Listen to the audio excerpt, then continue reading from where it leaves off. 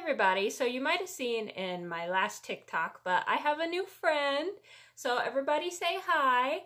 And uh, I haven't actually settled on like a real name for him yet. I'm thinking, um, right now I'm just calling him Wiz, like W-I-Z, not W-H-I-Z, like not like taking a piss, but like W-I-Z.